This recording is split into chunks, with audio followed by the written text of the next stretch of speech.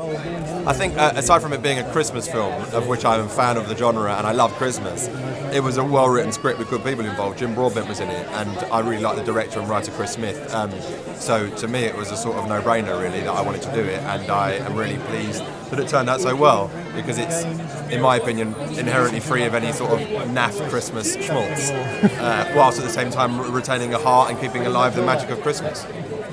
Cliches like the the, the um, stepfather being the antagonist, where because what we're exploring here is the idea of a modern family. Um, not, not all families these days are made up of 2.4 children and, and, and parents that are married. Most parents in this country, most families, are there's stepchildren involved and step parents. That's not a negative thing or a positive thing. It's just a thing that deserves representing.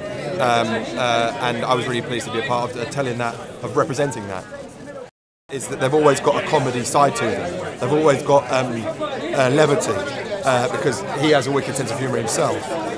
so this film absolutely subscribes to the humour element. He's just changed the gore for Christmas.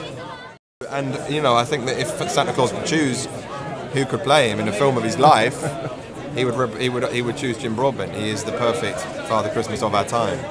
He's a very clever boy. I loved working with him, um, and he's going to go a long way. He's very confident, which is the, the best thing you can be as a child. Is confident. No, I, I, I do love Christmas films. My favourite one's Bad Santa, which isn't necessarily for the same audience as this, uh, but I love that film. That the preserve of childhood is an extremely important thing, and the belief in Father Christmas is part of that. Is part of that magic, and is nothing but positive. Ladies and gentlemen, you're watching Hey! Hey, you guys, huh? Hey, you guys. Is that from the Goonies? It is indeed, yes. Nice. Hey,